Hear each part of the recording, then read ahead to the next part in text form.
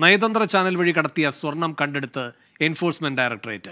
മലപ്പുറത്ത് അബൂബക്കർ പഴയടത്ത് എന്നയാളുടെ ജ്വല്ലറികളിലാണ് raid. Consulate കടത്തിൽ പിടികൂടിയ മൂന്ന് കിലോ സ്വർണം ഇയാളുടേതായിരുന്നു. അബൂബക്കർ പഴയടത്തിന്റെ വീട്ടിലും പരിശോധന നടക്കുകയാണ്. വിവരങ്ങളുമായി വിനിത വി ചേരുന്നു. വിനിത ഈ റെയ്ഡുമായി ബന്ധപ്പെട്ട വിശദാംശങ്ങൾ എന്താണ്?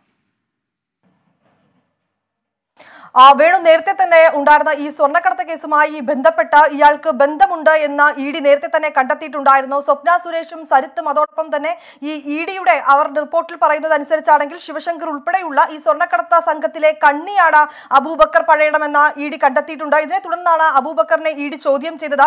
ഈ ചോദ്യം ചെയ്യലിലാണ് ഈ കോൺസുലേറ്റ് വഴി കടത്തിയ സ്വർണത്തിൽ മൂന്ന് കിലോ സ്വർണം തന്റേതായിരുന്നുവെന്ന് അബൂബക്കർ സമ്മതിക്കുന്നുണ്ട്. പിന്നീട് നടത്തിയ ചോദ്യം ചെയ്യലിലാണ് സമാന രീതിയിൽ ആറ് കിലോയോളം സ്വർണം കോൺസുലേറ്റ് വഴി തന്നെ താൻ കടത്തിയിരുന്നുവെന്നും ഇയാൾ മൊഴി നൽകിയിട്ടുണ്ട്. ഈ പശ്ചാത്തലത്തിലാണ് കഴിഞ്ഞ ദിവസം ഇ ഡി ഇയാളുടെ വീട്ടിലും അതോടൊപ്പം തന്നെ ഇയാളുടെ ജുവലറികളിലും ഒക്കെ തന്നെ പരിശോധന നടത്തിയത്. ഈ പരിശോധനയിലാണ് അഞ്ച് കിലോയോളം സ്വർണം കണ്ടെത്തിയിരുന്നത്. ഏറ്റവും പ്രധാനമായി പറയേണ്ടത് ചില പ്രമുഖ ജുവലറികളുടെ പേരിലാണ് ഇയാൾ മലപ്പുറത്ത് ചെറിയ ജുവലറികളൊക്കെ തന്നെ നടത്തുന്നത്.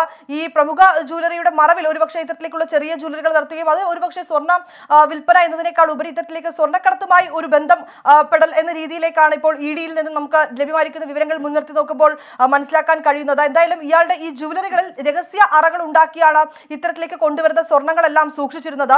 ഇങ്ങനെ സൂക്ഷിച്ചിരുന്ന ഏതാണ്ട് അഞ്ച് കിലോയോളം സ്വർണം അതായത് വിപണിയിൽ ഏതാണ്ട് രണ്ടര കോടി രൂപയിലേറെ വില വരുമെന്നാണ് ഇ ഡി പറയുന്നത്.